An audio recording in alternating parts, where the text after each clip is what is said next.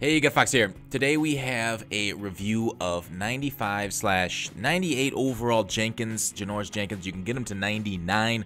I've seen the picture, like you guys have seen the moving picture, the Fox and the Hound. Janoris Jenkins here, 93 speed. He's got FGLD.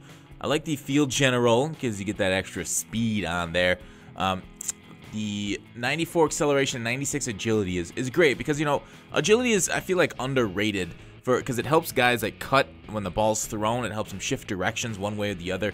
Man coverage 95, zone coverage 93, press 82, play rec 95. Don't play two-man press with him because he won't get uh, great press on people. We're comparing him to Sam Shields, and overall, I do like the Jenkins better than Shields, especially because the the block shed is higher. Jenkins is in the mid to high 60s, and Sh Sam's is like 50 something if memory serves correctly on that one.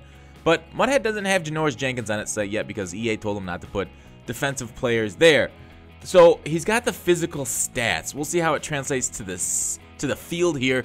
Uh, his traits are pretty good. Nah, no clutch, no big hitter, high motor, no stripped ball, no, and plays air, but plays ball and air balance. So actually, probably some of the worst traits possible. I just lied to you, and I apologize for that. I wanted to be positive, but you know, reality sometimes kicks in and you get a little negative. But that's based on his 92 card. I don't think traits change over. So we're going to take a look at his run support, his pass support, man coverage, zone coverage. I run mostly a cover 2 zone there. If you see him on the left there, do you see him shadow his man? Didn't get beat. He's got the red star underneath him as 98 overall. There he's rallying to the ball, rallying up and missing the tackle. And that's something that you're just going to, it's just going to happen to corners. They're going to miss tackles unless there's a night train lane or something. Janoris has uh, hit power 64 and tackle 74. And there it's just uh, not a good look for us there either. So, as you guys know, my testing with zone corners and everything, it isn't great. Look at look at him. Like he didn't react to the guy behind him. Like he just kind of stood in his zone and didn't react to the guy falling behind him. That's kind of what I want to show. Remember, he's on the left with the red star underneath him. Um, he, he doesn't react to that. Like he should react to that guy coming through his zone, but he doesn't. He's got some of the highest coverage stats possible. Uh, a play rec at 90, awareness, even though we know it doesn't do anything on defense, at 90. So you'd think that those things should make a difference about, you know, be aware of players coming through the zone, but it doesn't matter. So that's why I don't look at those things. There he is, coming back cover two, kind of sitting there, kind of sitting there. Now he reacts to the quarterback after he gets past the line of scrimmage. So I kind of like that he sits in zones, but he should be more aware of the guys around him based on his decent zone coverage and uh, his man coverage. You'll see here in a little bit, just as bad. Um, there, he's not able to hit that ball out. And that's why I, I, like corners with higher hit power because maybe not in that instance. Maybe it wouldn't have worked there. He's getting cut down for the run block, and there's nothing really you can do there except for maybe hurdle that and make the tackle. But I, I do like corners with higher hit power than Jenkins. There he is reacting and kind of getting in late on that run support. Here he is getting blocked, but is able to hold his ground long enough to stick up his running back and allow my defense to rally. So, do I like Jenkins? He's solid. He is very solid. Man coverage always leaves something to be desired in this game. That's why I don't really run it except for like deep situations. There, uh, two on one, and he's almost getting the pick there.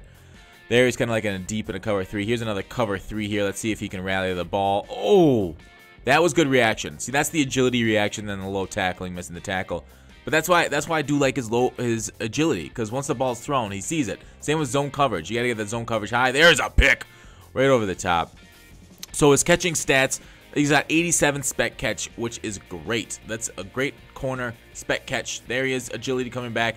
He was in a deep zone, so it's hard to, with those comeback routes to really react to him properly. But in, in coverage, in zone coverage, you know, you can't really ask for too much more than him because everybody plays the same in zone coverage. But the zone coverage, as we know, makes them react to the balls better, like I've said. And here's him off the edge. He kind of got blocked and held up for a little bit longer than you'd like to see. Maybe Night Train Lane gets off that a little faster, but overall, I didn't hate his run support. Um, and that's something I really look for a lot in corners. That's an unfortunate situation. Like a guy with higher hit power might be able to knock that out of that dude's hand, lay a hit stick. Somebody like uh, Night Train Lane or, or Ramsey might do a little bit better there. There he is. Oh, yep. He reacts to it right when he crosses the line of scrimmage, which is kind of what you want. Um, that's the ideal time to react to the quarterback. Reacting a little early might get you screwed, and you really want to wait for the user input. So, did I like Janoris Jenkins? I, I did. I did like his speed, his agility, everything about him. He, he does transfer from route to route pretty decently. But He's going for a, a, whole crap ton of coins right now. I think I saw like a 1.4 million coin sale on him. Again, Muthead doesn't have the data on him, so it's hard to really nail down a price. But uh, my buddy who lent me this card, NJ Horn, said he sold. He ended up selling him for 1.4 million. I, think he bought him for quite a bit less, so he got a nice little profit on that. Here's a screen react to it. Oh, just jump over it, and Jenkins is able to push him out of bounds. Now watch this man coverage. This is one-on-one man coverage. C route and you're dead. You're dead. Oh, Jenkins, Jenkins, Jenkins. And we're not able to catch up to him even with the 93 speed. So he celebrates going to the end zone. So that was a that was a uh, that's a, that's man coverage in a nutshell. Even though his man coverage and agility is very high, C route still dominate for guys with under 96 route running. There is a nice little reaction, but not able to get to it. Able to knock the ball out in the double coverage there. A little bit of run support, shed, and get the tackle. Nice work, Jenkins. So Am I going to pick up this Jenkins for my team? I don't think so. His his run support's great. His price is high, but I, I could see it like, kind of getting to where Elliott's price is now. 600k-ish, depending on what the bundle toppers are. 500k maybe. And and he's a decent price. Uh, he's decent for that price, but I just I just value hit power, tackling, run support things for my corners more than anything. There's a nice little tackle because he got the side. But uh, Everything else about this Jenkins, just lovely. He played about as well as you could ask, with the exception of, you know, man coverage. You kind of just setting guys up to fail with uh, man coverage against C routes. So, there's a nice pick to end it. I would give Jenkins, based on a 1.4 million coin uh, cost, like a, a 7.9. But based on a 500,000 coin cost, I think he goes up to like a 8.5. But that's it. Thanks for watching Call to Action. I will see you tomorrow.